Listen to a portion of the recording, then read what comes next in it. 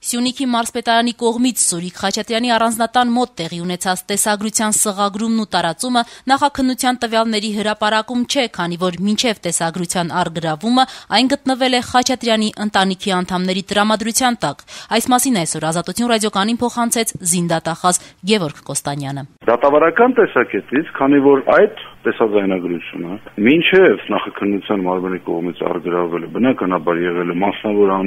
անձանց այս դեպքում Սուրիկ Խաչատրյանի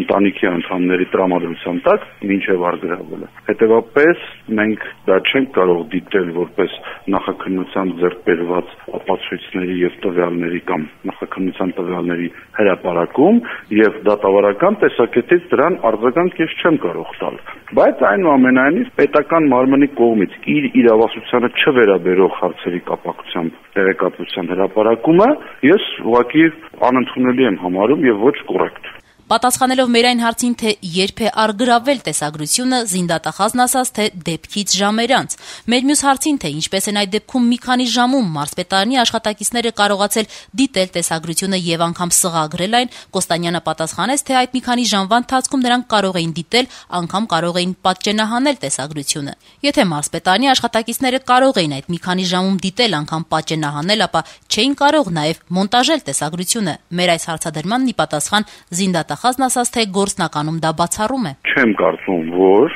այդքան կարճ ժամանակում որևէ մոնտաժման հնարավորություն լիներ, որովհետև Ա. ժամանակներ կար, Բ.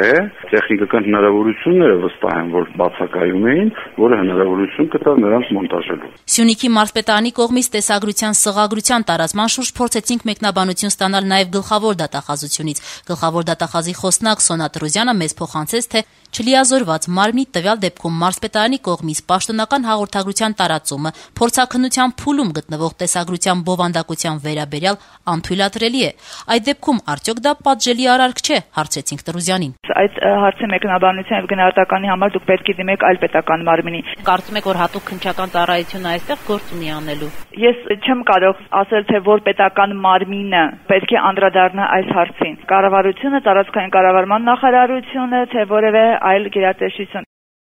Մարտական ֆիլմ հիշեցնող այդ սղագրության համաձայն առաջինը կրակել են Բուդաղյան եղբայրները, մասնավորապես գնդապետ Արտակ Բուդաղյանը։ Թե ովքեր են կրակել Բուդաղյանների վրա եւ նրանցից մեկին սպանել, մյուսին վիրավորել անհայտ է։ Սղագրության համաձայն կրակողները տեսապատկերում չեն երևում։ Ստացվում է, որ երբ Բուդաղյանները կրակում են, երևում է, իսկ երբ նրանց վրա են կրակում եւ մեկին էր սպանում, չի երևում։ Ուշագրավ է, որ ըստ այս սղագրության տեսապատկերներում Սյունիքի մարզպետը ընդհանրապես չի երևում, թեև նա տանն է, մինչդեռ նրա կինը Լորետա Բարս Սեղյանը ակտիվ դերակատարություն է ունենում փորձելով կանխել կրակոցները եւ 3 կրակոցի ուղություն կարծեք հաջողվում է փոխել, ասված է սղագրության մեջ։ Եվ մի դիտարկում էլ, երբ մարզպետի տանը նման մարտեր էին ընթանում, ապա հարց է առաջանում, ինչպես կարող է Սուրիկ Խաչատրյանը ոչինչ չլսել եւ չտեսնել։